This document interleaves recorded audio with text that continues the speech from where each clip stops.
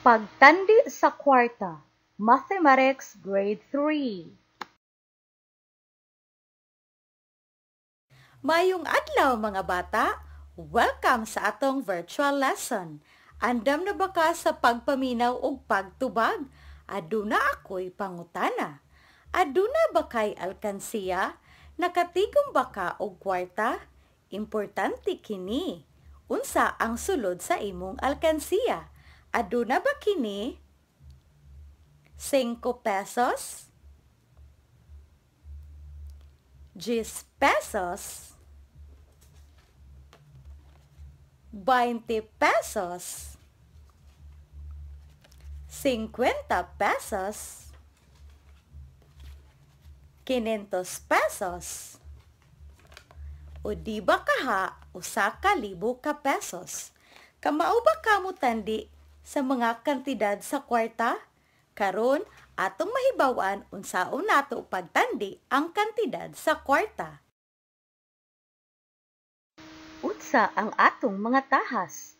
Makatandi sa mga nagkalain-laing kantidad sa kwarta nga papel o bills ug sinsilyo, kutob sa usa ka libo ka pesos gamit ang simbolo nga mas dako, mas gamay o pareho ra.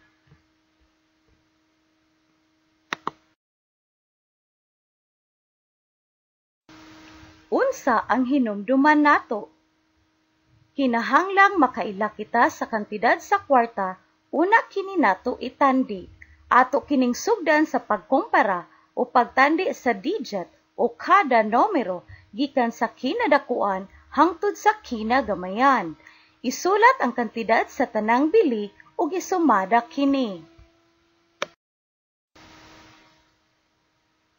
Unsaon nato pagtandi ang kantidad sa kwarta nga papel o bills ug sinsilyo? Unang buhaton, ilha ang kantidad sa papel nga kwarta o bills og sinsilyo. Sunod, sugdi og tandi ang mga kwarta sa digit o kada numero gikan sa kinadakuang kantidad hangtod sa kinagamayan. Aron mapakita ang relasyon sa matag kantidad sa kwarta, gamiton sa pagtandi ang simbolo nga mas dako o more than, mas gamay o less than, o pareho ra equal to. Nakamauna ka? Suwayan nato pagtubag ang unang buluhaton. Ilha ang kantidad sa kwarta. Isulat ang letra sa hustong tubag sa inyong notebook. Unang numero. A.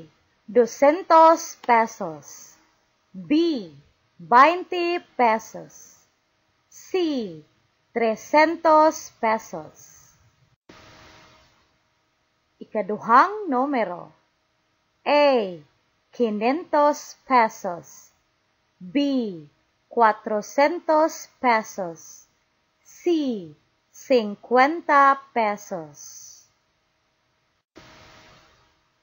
Ikatulong numero. A. 600 pesos.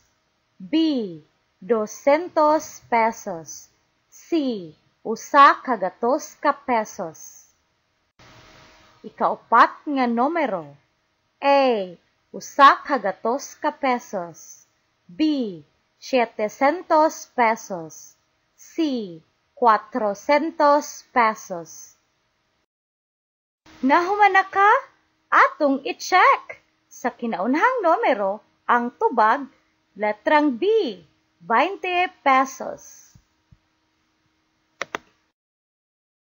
Sa ikaduhang numero ang tubag, letrang C, 50 pesos. Sa ikatulong numero ang tubag, letrang B, 200 pesos. Sa ikaupat nga numero ang tubag, letrang A, usa ka gatos ka pesos. Yehey! Nakamauna ka! Very good! Atong suwayan pagtubag ang ikaduhang buluhaton. Itandi ang kantidad. Isulat ang husto nga simbolo. Mas dako, more than, mas gamay, less than, o pariho ra, equal to. Unang numero. Ikaduhang numero. Ikatulong numero. Ikaupat nga numero.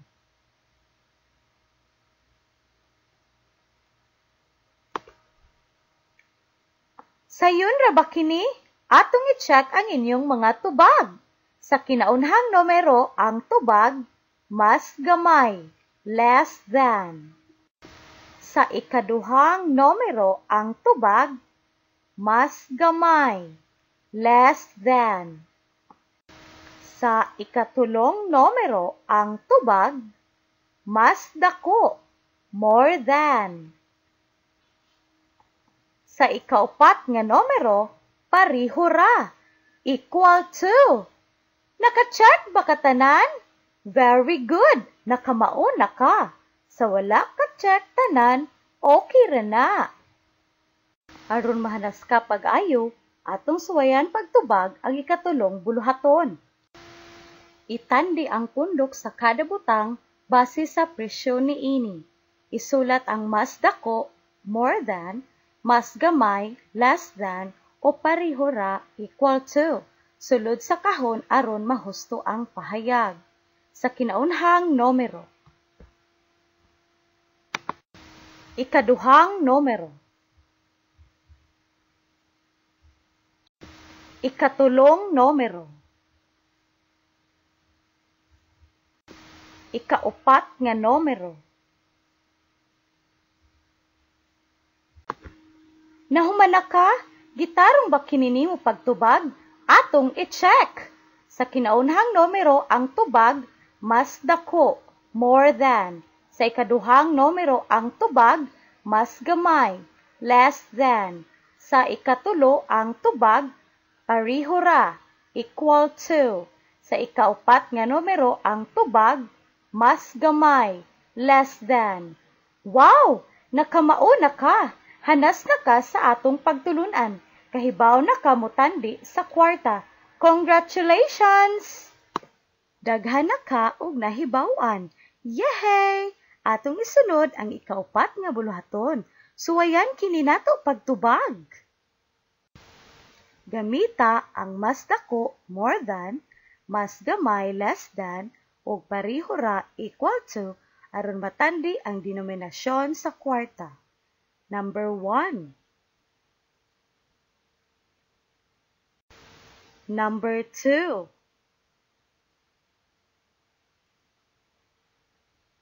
Number 3.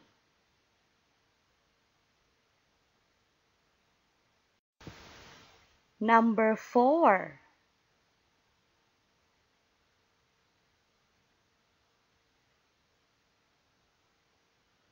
Number 5.